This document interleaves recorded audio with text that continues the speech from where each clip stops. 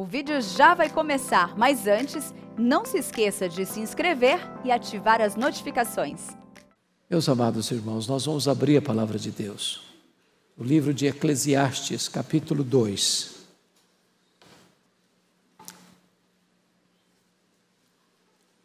E faremos a leitura do verso 1 ao verso 11.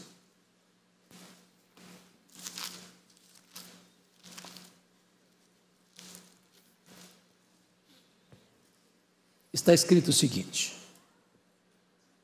Disse comigo: Vamos, eu te provarei com a alegria. Goza, pois, a felicidade, mas também isso era vaidade. Do riso disse: É loucura, e da alegria, de que serve? Resolvi no meu coração dar-me ao vinho regendo-me, contudo, pela sabedoria, e entregar-me à loucura, até ver o que, me, o que melhor seria que fizessem os filhos dos homens debaixo do céu, durante os poucos dias da sua vida. Empreendi grandes obras, edifiquei para mim casas, plantei para mim vinhas, fiz jardins e pomares para mim e nestes plantei árvores frutíferas de toda espécie. Fiz para mim açudes, para regar com eles o bosque em que reverdeciam as árvores. Comprei servos e servas, e tive servos nascidos em casa, e também possuí bois e ovelhas, mais do que possuíram todos os que antes de mim viveram em Jerusalém. Amontoei também para mim prata e ouro, e tesouros de reis e de províncias. Provi-me de cantores e cantoras, e das delícias dos filhos dos homens, mulheres e mulheres. Engrandeci-me e sobrepujei a todos os que viveram antes de mim em Jerusalém. Perseverou também comigo a minha sabedoria. Tudo quanto desejaram os meus olhos, não lhes neguei nem privei o coração de alegria alguma, pois eu me alegrava com todas as minhas fadigas, e isso era a recompensa de todas elas. Considerei todas as obras que fizeram as minhas mãos, como também o trabalho que eu, com fadigas, havia feito. E eis que tudo era vaidade e correr atrás do vento, e nenhum proveito havia debaixo do sol. Eu quero meditar com vocês hoje sobre o tema Onde encontrar a felicidade. Salomão, o rei pregador, é um homem que viveu superlativamente. Era o mais rico, era o mais sábio, viveu de forma sem paralelos na história de Israel. Aqui no texto, ele está buscando a felicidade. Mas a pergunta é: onde a felicidade mora? Qual é o seu endereço? Qual é a geografia onde você pode encontrar a felicidade? Ele buscou a felicidade meticulosamente.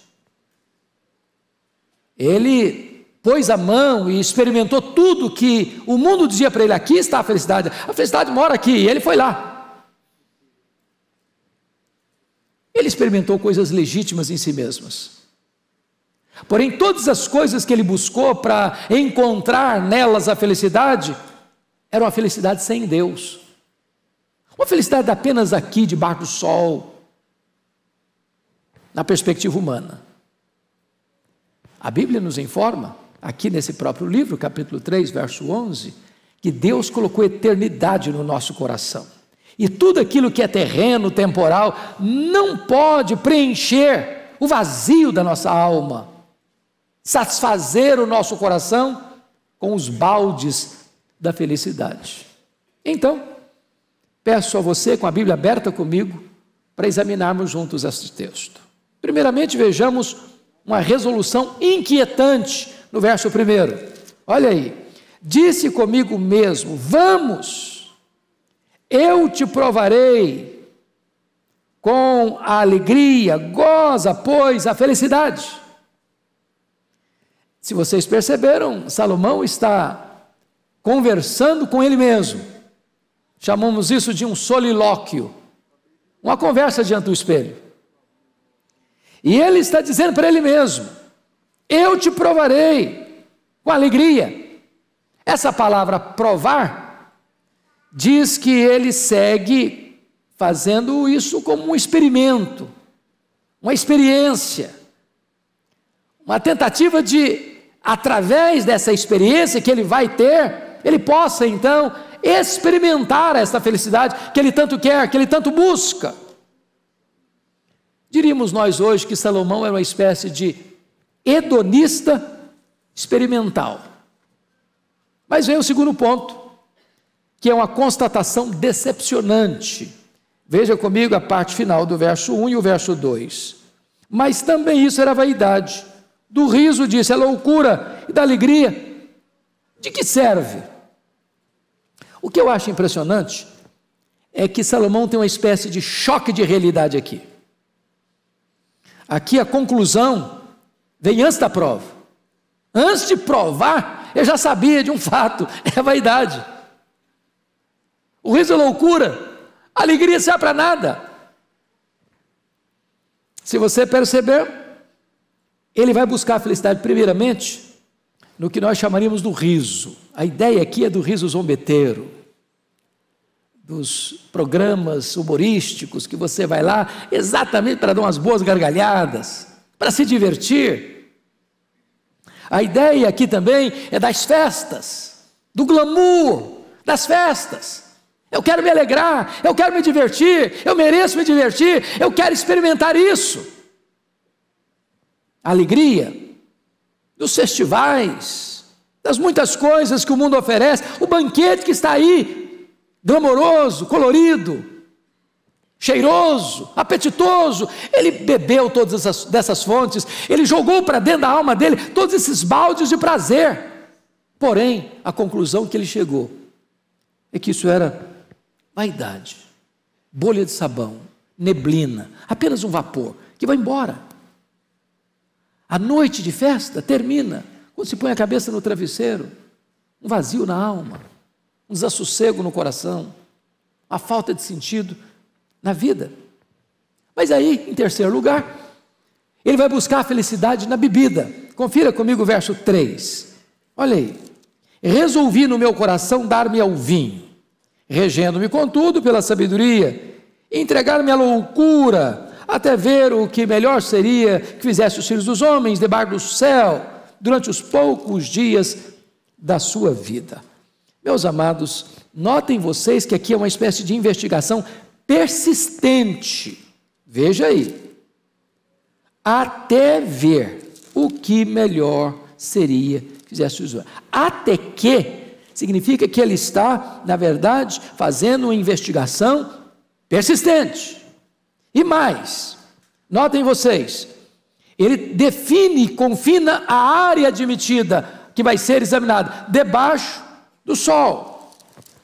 Ou seja, ele vai fundo na busca e tudo que tem debaixo do sol, que o mundo oferece, ele quer experimentar.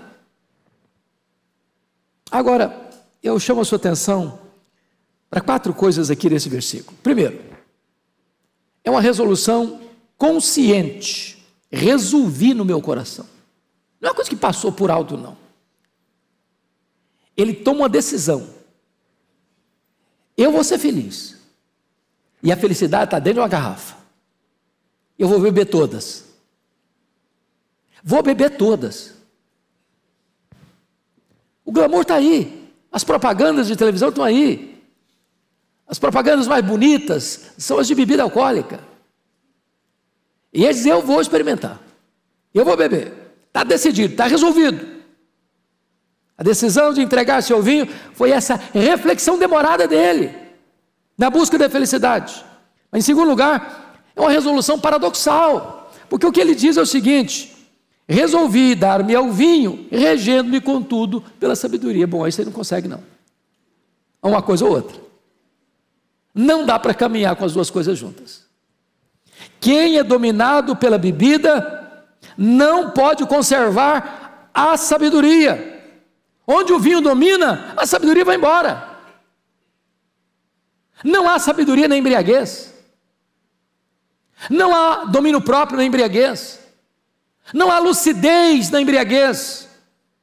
Aliás, mais tarde, Salomão, tomado por sabedoria divina, vai escrever em Provérbios 21: O vinho é escarnecedor e a bebida forte, alvoroçadora. Todo aquele que por eles é vencido não é sábio. Mas vem o terceiro ponto: uma resolução inconsequente. Olha aí comigo, ele diz o seguinte: eu vou me reger, contudo, pela sabedoria e entregar-me à loucura. Ele está dizendo o seguinte: eu vou fundo nesse negócio. Na minha adega não vai faltar nenhum tipo de bebida. Eu vou me entregar à loucura. Eu quero saber se lá nesse, nessas profundezas tem a felicidade. É inconsequente. Mas finalmente, é uma resolução irrefletida. Sabem por quê, meus irmãos? Veja vocês, até ver o que melhor seria que fizesse os filhos dos homens debaixo do céu durante os poucos dias da sua vida. O cara sabe que os dias são poucos, não importa se você vive 20 anos, 30 anos, 50 anos, 70 anos, 100 anos, são poucos dias. E em vez de ele usar os poucos dias da vida para remir o tempo, ele usa os poucos dias da vida para curtir a vida. Curtir aonde? Procurar aonde a felicidade? Na bebida. Na bebida. Pois bem, esse princípio é o mesmo hoje, irmãos. Algumas pessoas estão procurando a felicidade aonde? No fundo de uma garrafa, uma picada de cocaína numa cama de adultério, nas aventuras amorosas, na busca de riquezas ilícitas. Só mudou o cardápio, mas a refeição é a mesma, a busca da felicidade. Bom, então o quarto ponto da mensagem. A busca da felicidade nos empreendimentos, versículos 4 a 6. Ou seja, não, agora eu não vou mexer mais, vou, vou sair uh, desse uh, entretenimento e vou me voltar para o trabalho. Já que o entretenimento não me deu prazer, quem sabe o trabalho me faça feliz? Quem sabe? E aí eu gostaria que você parasse para pensar comigo num ponto. Num ponto. Vamos ver os versículos 4 a 6. Tudo ele faz com as suas mãos o seu empreendimento, mas tudo é para ele, para mim, para mim, para mim. Ele é o centro do universo. Ele acha que tudo converge para ele. Então vamos examinar isso, por gentileza. Primeiro, vejamos a pluralidade de suas obras e empreendimentos. Veja aí comigo, por gentileza, no versículo 4. Empreendi grandes obras, edifiquei para mim casas, plantei para mim vinhas, fiz jardins e pomares para mim, e nesses plantei árvores frutíferas de toda espécie. Versículo 6: Fiz para mim açudes, para regar com eles o bosque, que reverdeciam as árvores. E aí você começou a perceber o seguinte: que há uma pluralidade aqui, tudo que ele fez está no plural, tudo. Veja aí, casas, vinhas, jardins, pomares, árvores, açudes, tudo está no plural. Ele faz com abundância, ele faz com exuberância, ele faz no superlativo. Mas mais do que isso, qual é a finalidade daquilo que ele faz? Está tudo aí, muito bem definido. Para mim, para mim para mim, para mim, para mim.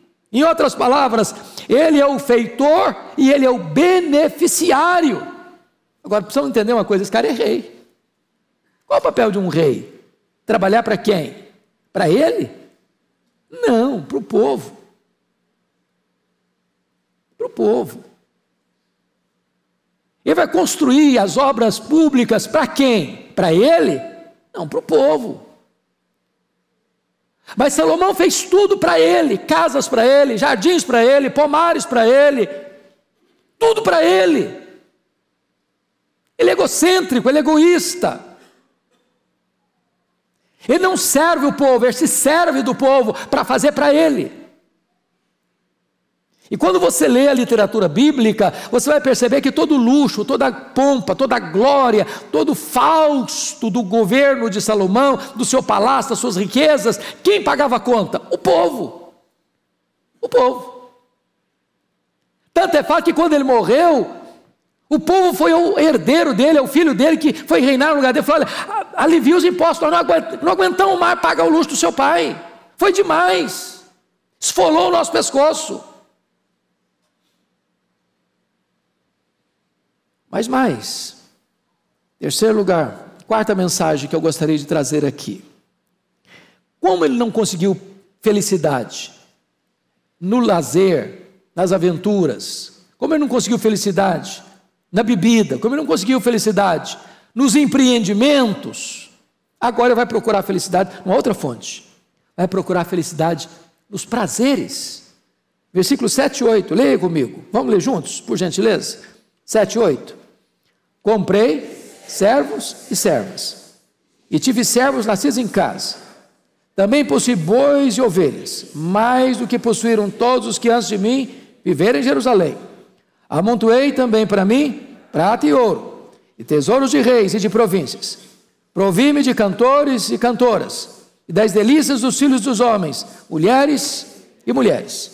Vamos ver que nesta procura da felicidade nos prazeres, três prazeres são mencionados. Primeiro, o prazer da riqueza, servos, bois, ovelhas, prata, ouro, tesouros de reis, tesouros de províncias. Ele pensa: tendo muito, eu vou ser feliz.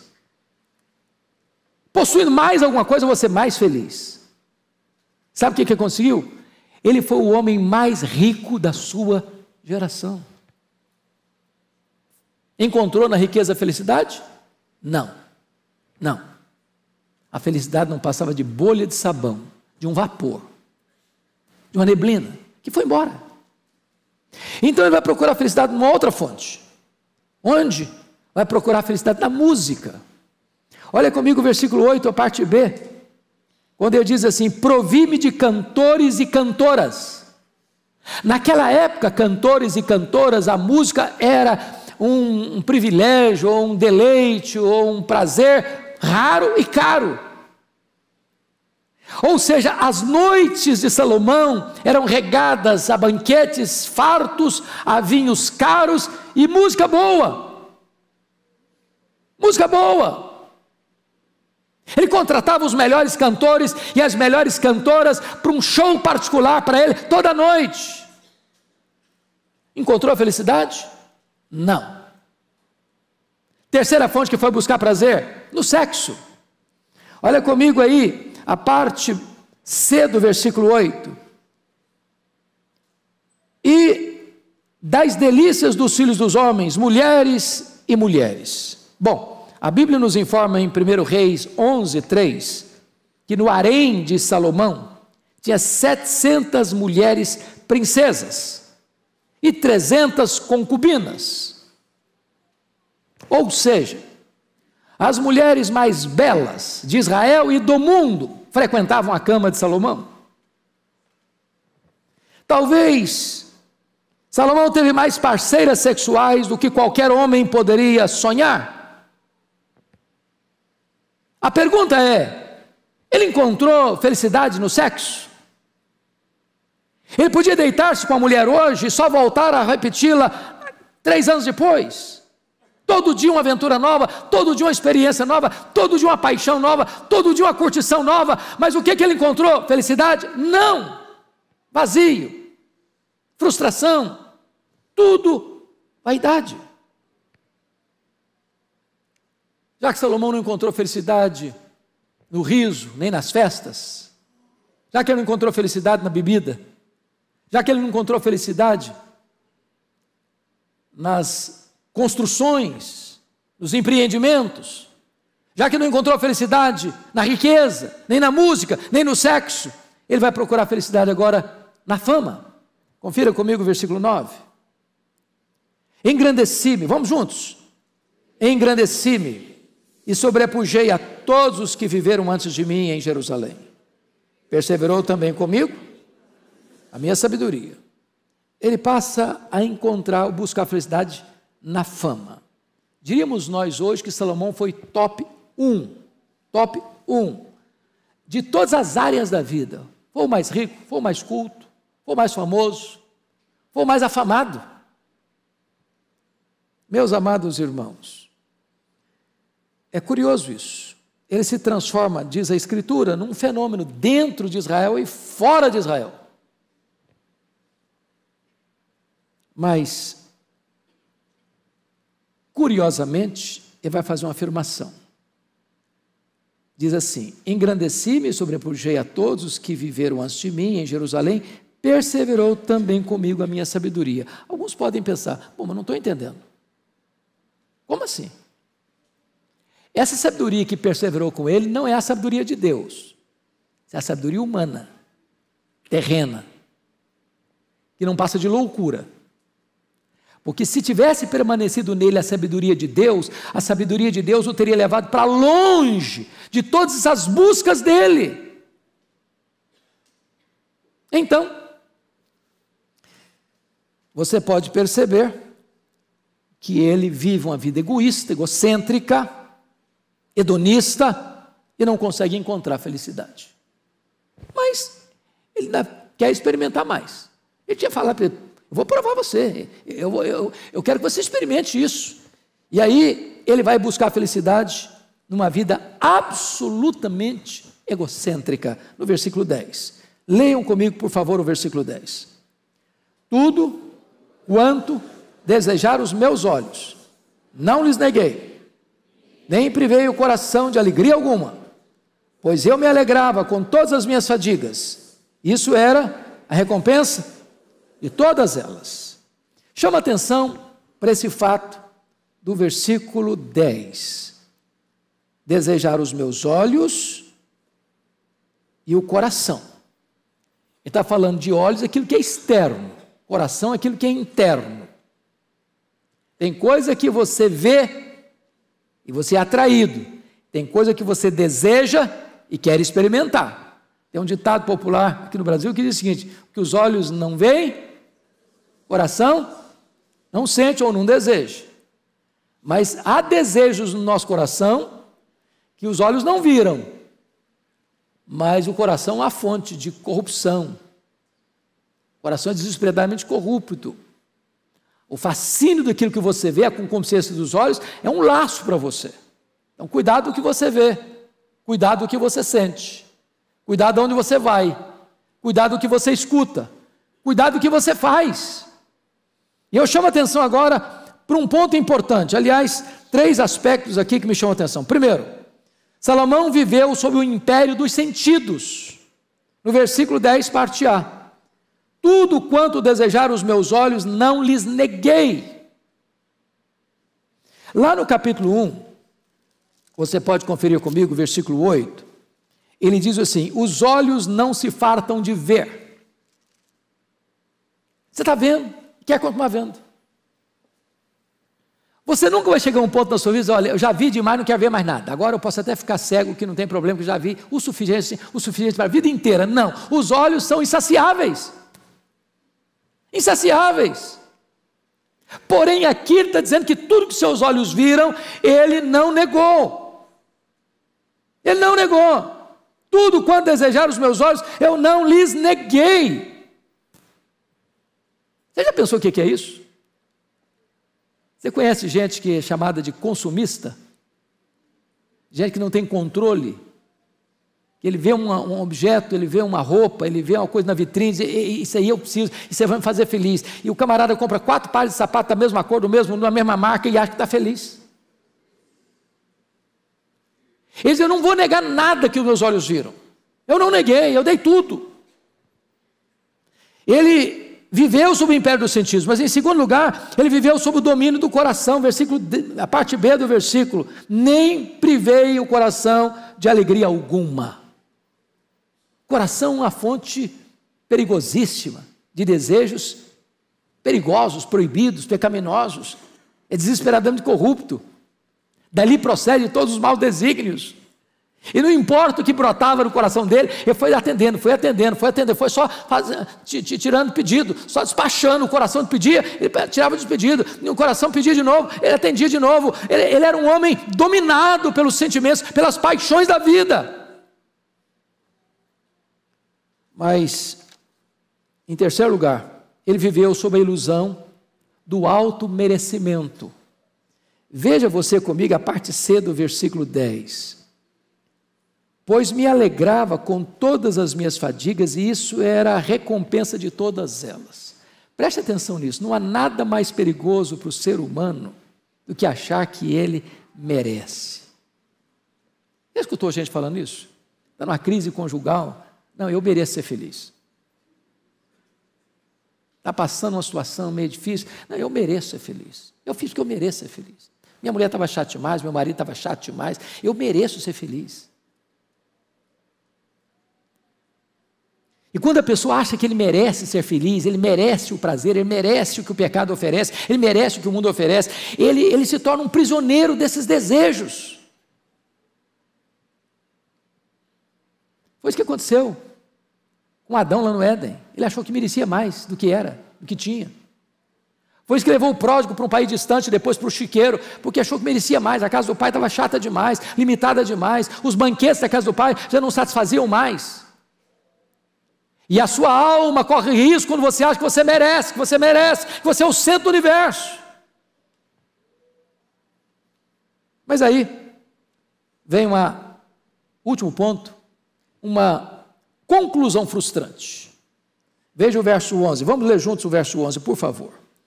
Considerei todas as obras que fizeram as minhas mãos, como também o trabalho que eu, com fadigas, havia feito, e eis que tudo era vaidade e correr atrás do vento, e nenhum proveito havia debaixo do sol.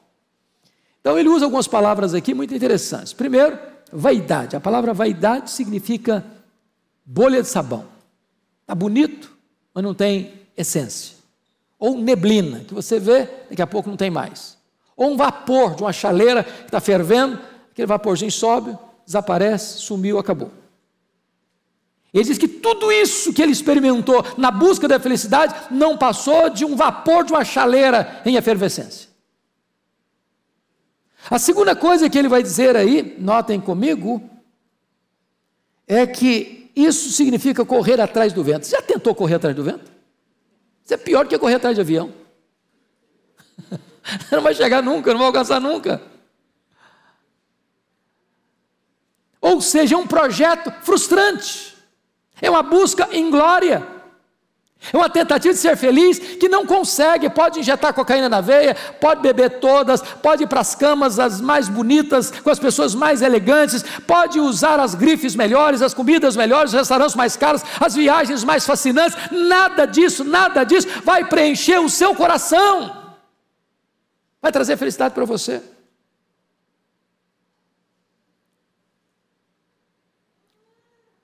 Só vai ter desilusão. Esse é o paradoxo do hedonismo. Quanto mais você busca o prazer, menos você encontra o prazer. Agora, notem, é, por gentileza, que o sentido da vida que ele está procurando, ele vai dizer no versículo 3, que havia debaixo do sol.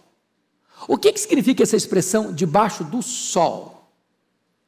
É que existem duas dimensões de vida: debaixo do sol e acima do sol. A dimensão do terreno e do celestial. A dimensão do temporal e do eterno. A, a dimensão do humano e do divino. Meus irmãos, se você empurrar Deus para fora da vida, para a lateral da vida, nada mais vai fazer sentido na sua história, nada mais, nada mais. Você pode ter dinheiro, você pode ter saúde, você pode ter amigos, você pode ter festa todo dia, você pode ter boa música todo dia, você pode ter o melhor vinho todo dia, você pode ter os melhores banquetes todo dia, você pode fazer, fazer, fazer, fazer, você pode ser o grande, a grande celebridade das realizações. Nada disso, nada disso vai preencher o seu coração, porque Deus colocou eternidade no seu coração e nada daquilo que é temporal e terreno vai preencher esse vazio que tem o formato de Deus. Então, Vamos a uma aplicação espiritual para encerrar. A pergunta é: onde mora a felicidade? Qual é o seu endereço? Qual é a geografia da felicidade? Onde ela está? E a Bíblia responde: na presença de Deus, a plenitude e a alegria. E na destra de Deus, há delícias perpetuamente. A Bíblia responde: Jesus veio para que você tenha vida e vida em abundância.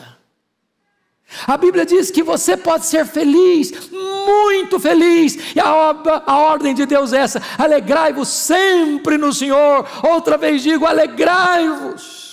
Há um banquete da graça oferecido para você que vai satisfazer o seu coração, que vai satisfazer a sua alma, que vai dar sentido para a sua vida. É a vida eterna que só Jesus tem, só Jesus oferece e oferece agora para você e para mim.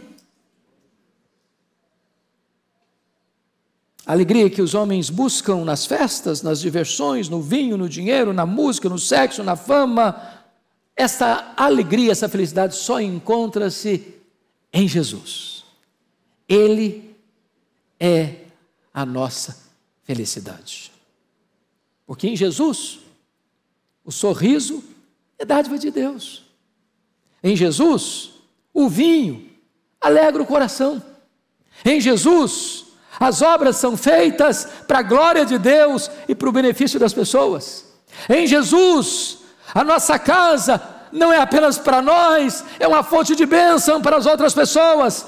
Em Jesus, o nosso trabalho não é fadiga, o nosso trabalho promove a glória de Deus e não é vão o nosso trabalho. Em Jesus, o sexo puro e santo é deleitoso no leito conjugal. Em Jesus, a vida faz sentido. Em Jesus, a vida é bela. Em Jesus, há um manancial inesgotável da verdadeira felicidade. Que o Senhor nos abençoe.